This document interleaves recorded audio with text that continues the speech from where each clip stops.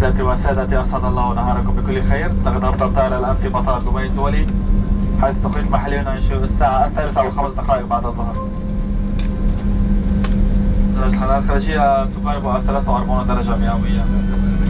براحتكم راحتكم وسلامتكم يجب عليكم بقاء جالسين في مقاعدكم